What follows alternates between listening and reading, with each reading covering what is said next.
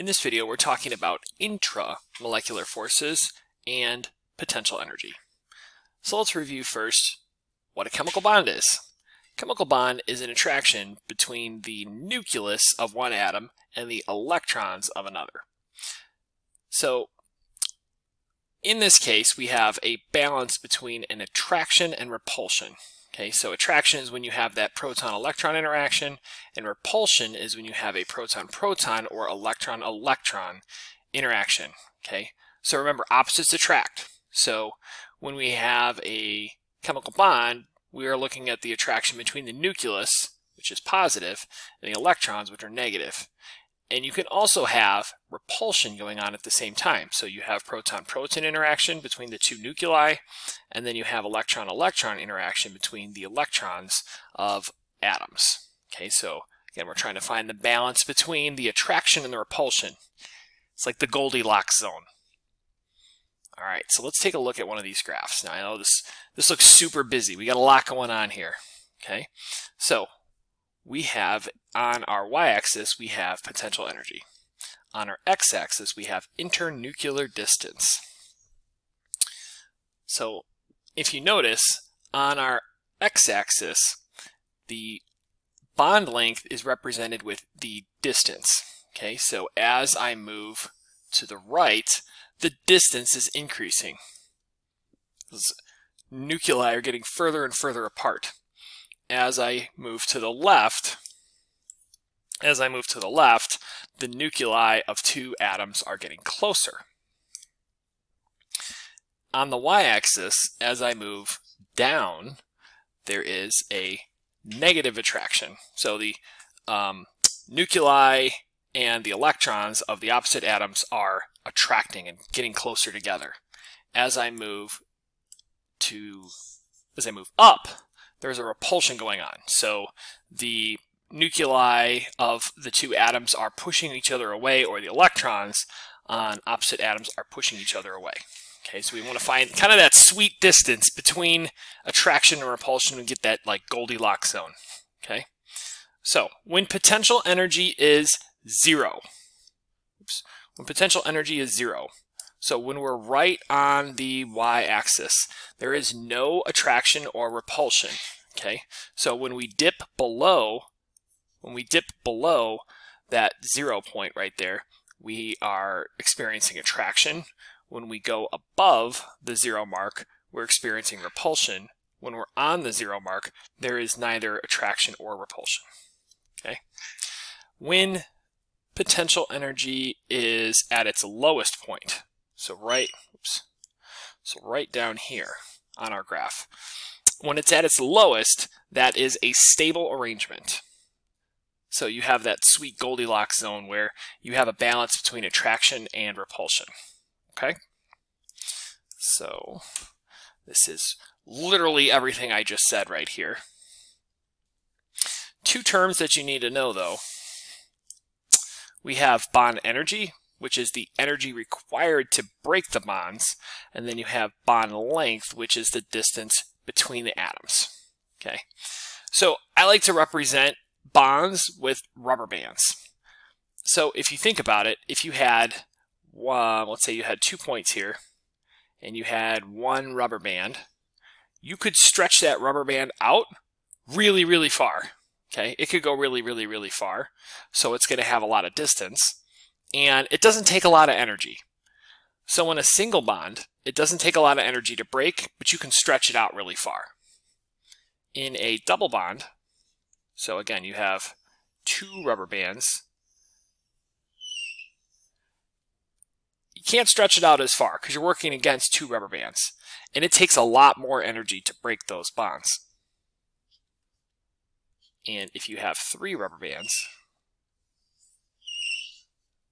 Uh, it's very difficult to break three rubber bands, especially if you've got them wrapped around your fingers and you're trying to break them. Three rubber bands is really hard to break, and you can't stretch it very far. So again, with a single bond, you are going to have the longest bond. So if you put a rubber band between two points and you try to stretch it out, it's going to stretch really far, but it's going to have an easy time breaking. You're going to be able to break it very easily because you're only working against one rubber band. With a triple bond, again, you're not going to be able to stretch it out very far, and it's going to take a lot of energy to break those rubber bands when you've got three that you're working against. Bonds work exactly the same way. And of course, a double bond would be in the middle.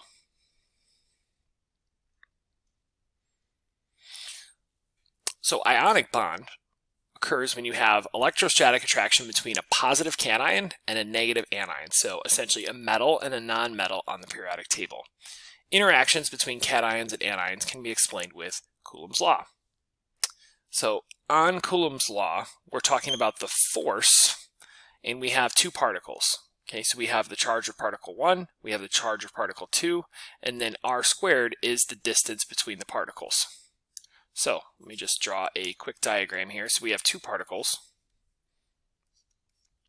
So this would be Q1, this would be Q2, and the distance between the particles is the radius. Okay, so think about your refrigerator at home, right?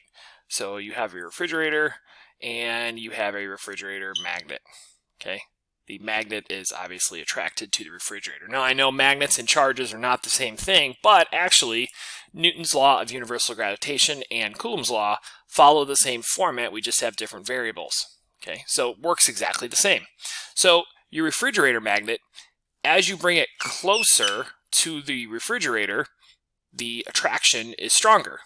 So if you're reducing the radius, making the radius smaller, the attraction is stronger. The force increases. So as the radius goes down, the force goes up. They have an inverse relationship.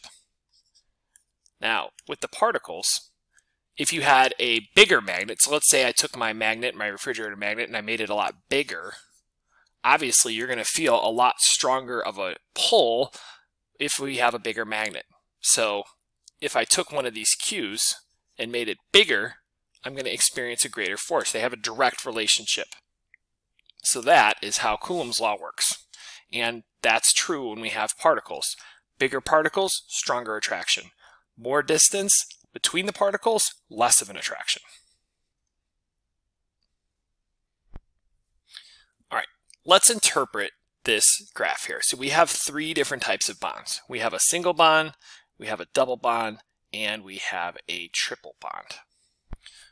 So just to make this a little bit easier to understand, our zero point is right here. So this is zero. So our energy actually increases as we go down. Okay, so more energy is down here.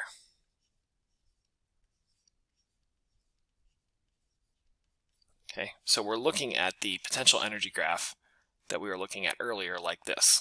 Okay, so again, I'm talking like we're looking at the lower half, so we're looking at this part of our graph here. Okay, so let's go back and take a look at the bonds. Okay, so bond C.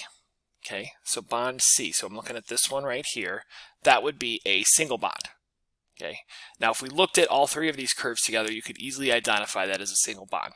Okay, so if you notice, it has, of the three, let me just kind of bring this down, taking the lowest point of each curve and bringing it down to the x-axis. So it has the most distance between the nuclei of the three, followed by B and then A. Okay. Now if I took that same point and brought it over to the y-axis, remember our energy is increasing as we go down. So C would have the least energy of the three, followed by B and then A. So if you got a question where you got three curves on a graph and you had to identify the single, double, and triple bond, you could easily do it based on what you know about the bonds and then looking at where they are on the curve. So let's look at an example. It says the energy required to separate the ions in the magnesium hydroxide crystal lattice into individual magnesium and hydroxide ions, as represented in the table below, is known as lattice energy of magnesium oxide. So we're basically taking this compound and we're separating it into its ions. As shown in the table, the lattice energy of strontium hydroxide is less than the lattice energy of magnesium hydroxide. explain why in terms of periodic properties and Coulomb's law. So again, the magnesium hydroxide takes more energy to separate than the strontium hydroxide. Why? Well, let's take a look at our periodic table. Okay, so on our periodic table, we're looking at magnesium, which is in the third period here. And if we go down to strontium, it's in the fifth period. Okay, so obviously magnesium is much smaller. So magnesium, I think we said, is in the third. So it's going to have three shells here, whereas strontium is in the fifth. So it's going to be much, much bigger. Okay, so the valence electrons in strontium are much, much, much further from the nucleus, so it's going to require less energy to be able to separate out the ions. Okay, whereas with magnesium, the valence electrons are much closer to the nucleus, so there's a much tighter pull on those. All right, let's go down and look at another example. It says the potential energy diagram is given for a triple bond between carbon and oxygen. A student claims that a curve for a single carbon-oxygen bond would be less and deep uh, and would be shifted to the right of the curve for a triple bond between carbon and oxygen. Do you agree with this claim? Why or why not? Okay, so we have a triple bond and we have a single bond. So we know that triple bonds, so our triple bond here, is going to be short, shorter, so it's going to have a smaller radius, and it's going to need more energy.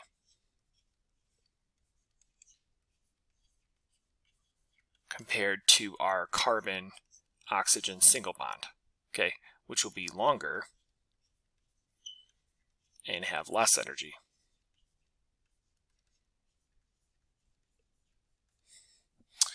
All right, so we've got a curve here, and let's just kind of plot our own curve down here. So, and let's maybe use some different colors. So let's say this one's going to be green, and this one will be blue. Okay, so uh, we should probably label our axes. So this will be distance, or radius, and then this will be energy. All right, so let's throw a point on our graph here. Okay, so we want to have it be shorter and then more energy. So it would be peaking down here. And then our um, single bond, it's going to be longer and it's going to have less energy. So it will be peaking here. So our graph would look something like this. And then this graph would look something like this. Right? Um, okay, so the CO bond would be less steep. So this claim right here, I agree with. Okay, because if you look at the graph, it is definitely less deep when compared to our triple bond. And then it would be shifted to the right of the curve for the triple bond, which I also agree with. So I agree with the student. We plotted both curves on our graph, and it matches up with our understanding.